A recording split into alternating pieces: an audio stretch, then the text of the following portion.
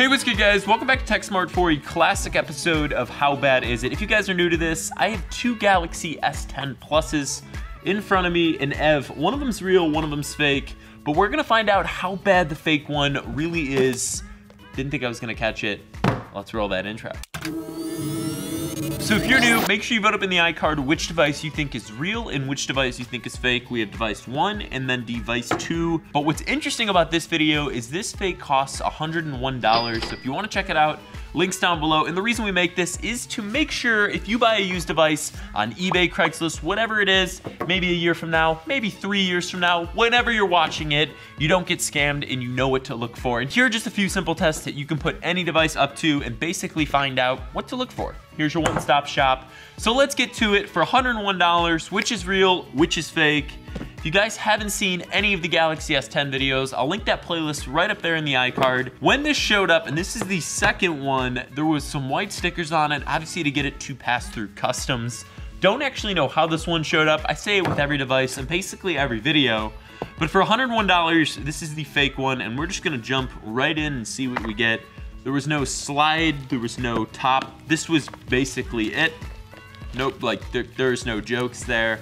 And this is what the device looks like. So if you find in any Galaxy S10 or S10 Plus with this kind of front sticker, and then of course the Olympic sticker on the back, you know it's not anything good that you want to be getting yourself into or your money into. But with the three cameras right on the back, that's what we're gonna put to the test and see, with that being a new feature on the S10 and S10 Plus, how bad is it on $101? Accessories, this really thin piece of paper. Basic accessories included. It does charge with USB-C. With the fake S10, we're gonna put this one to the side and jump into the real one here. Seems like all the ones on eBay, that's who hooked it up this year with all the Samsung stuff. We're getting it. We're getting it. Don't even need a knife. So it seems like eBay and all the phones on there have this free SD card. So this is what an S10 box should look like. Same with the S10 Plus. Has the S10 kind of white stamp or whatever color device you have. It's color corresponding with the font. So Ev, white phone plus, and here she is. So this is the Prism White, not the ceramic one. That would be the move. You know what to expect. Wall brick, OTG, AKG headphones, and then a USB-C cable. With these clones and fakes, they're always getting better. So whenever you see this video, the link down in the description should stay updated. And for $101, you get to see the different colors and variations. So on this particular model, it is a 6.3 inch screen and compared to the real Galaxy S10 Plus, that is a 6.4 inch screen. So that's just something to look out for. Eight gigabytes of storage with one gigabyte of RAM. It's always interesting to see what actually shows up. And for the colors, this is what caught my eye. It comes in gold. Gold isn't one of the colors they offer on the S10 Plus. It only comes in five colors that you'll probably see and then two ceramic versions that are a little more expensive. Prism White is what we have here and gold is not really an option. You have this canary yellow, but you can definitely tell it's a yellow and not a gold from what other models have had in previous years. So with that in mind, Ev, for $101, ooh, you can go all the way up to 16 gigs of storage.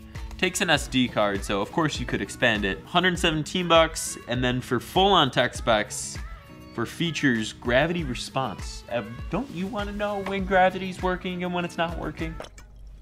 Mm. Scares me every time. Wireless charger, back camera, Google Play Store. So we'll test all that out. And then you have Face ID. I think that's an iPhone feature. Interesting to see if they're gonna have the ultrasonic fingerprint, the in-screen fingerprint reader that the real S10 Plus has, because that's definitely a distinguishing feature.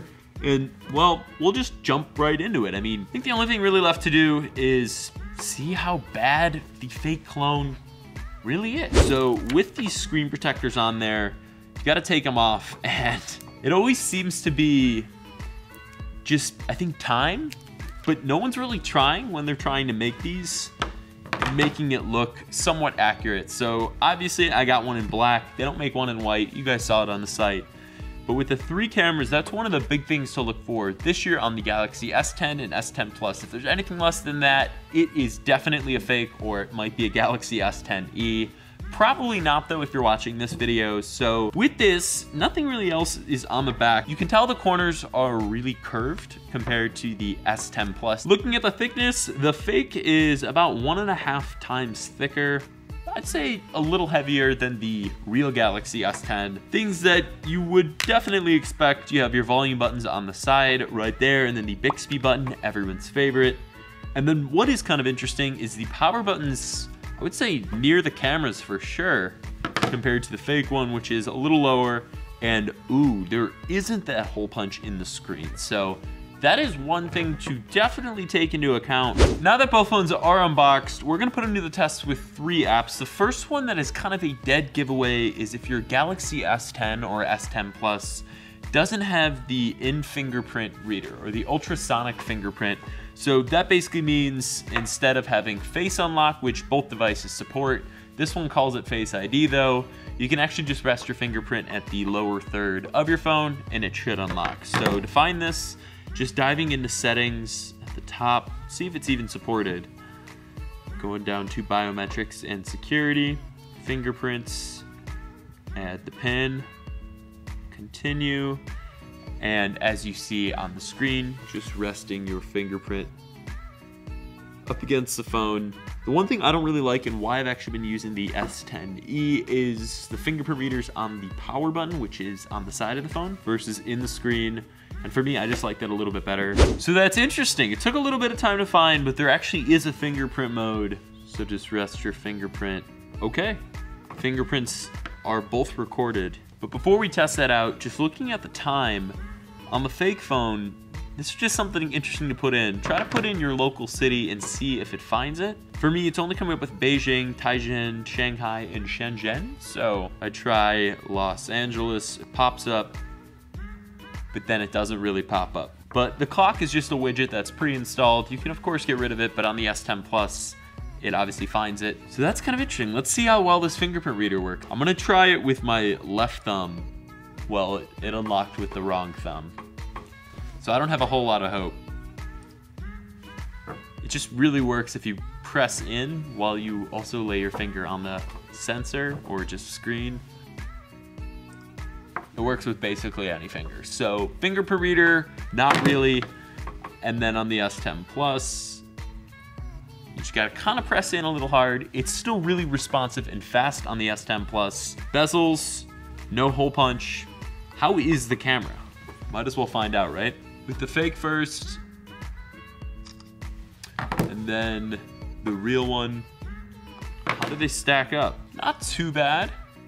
The fake actually looks the best that I've ever seen. But obviously compared to the real one with the 10 megapixel and the 8 megapixel camera, that's gonna stack up. And then of course there's three on the back. So next up is the Instagram test where we basically record an Instagram story and then there's a mode where you can upload directly to Instagram stories through Samsung and Instagram's new collaboration. Compared to the fake phone, there is a convenient record button right next to the shutter. So let's just give this a whirl. So go check the quality out right after this video goes up. It's just TechSmartt on Instagram. Let's see how these upload. So on the real phone, it automatically starts playing your video without audio, but you can turn that up. And then to upload it, you should hit this kind of triangle button. There's one on the fake phone at the top. Ooh, that's good. It says publish right to your Instagram feed. So one big telltale sign because of the Instagram Samsung partnership announced at the S10 event is this whole share to the feed or story mode. And this makes it super simple and also kind of helps polish off quality. It's not as good as an iPhone, of course, but it's not as Pixel 3 or even Google Pixel grade, and that's kind of what I was hoping for when I first jumped into the S10e. But what to look for if you're picking up a phone is this Instagram icon right here, and it will obviously say shares to story or feed. So if I hit story, automatically goes right in, queues it up. I don't wanna hear it, so you guys go vote what you think looks better compared to this. It just shares to the feed instead of the story. So not totally off, but definitely a telltale sign. One big thing that I think is a clear giveaway with all fake and clone devices, especially of the Samsung origin, is these bezels. So if you guys missed it in the S9, how bad is it? I'll leave it right up there in the iCard. Same kind of setup, phone just looks a little different on the software side. We're gonna see how the speakers sound, and I think that's a good test to see if they've improved. I mean, obviously you're gonna need to answer calls. If you still do that, I probably wanna play some music on YouTube Music, Apple Music, Spotify. So why not have a good playlist? All right, I'll leave it linked down below, the PBJams playlist. It's updated every single Friday, and we're gonna fire it up on YouTube Music. Both looks pretty good. I mean, screen resolution on the clone, I'd say is no greater than 720p. It's not the best looking, it's definitely legible, like you can see what's on screen, but it's no quad HD plus screen. Like the S10 Plus blows it out of the water and you'd expect it, but it's not bad. I'd say maybe even 1080p. I think 1080p is safe to say, just looking at the pixels and you can tell up close that there's fingerprints on the phone, but yeah, doesn't look all that bad. We're gonna start off with the fake device first, see how that sounds. So full volume. Here we go, Slushii. See what you got this week. Oh, wow. That's louder than I thought it'd be, but not anything noticeable over previous years that's like worth mentioning to you guys. It sounds like a fake device. So let's see how the same song sounds on the real one. This should blow everything away, like microphones included. Sit tight. Buckle up. It's going down. It's way better, but how much better?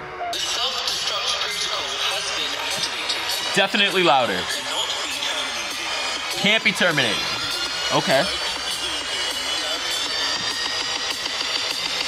Let's hear it.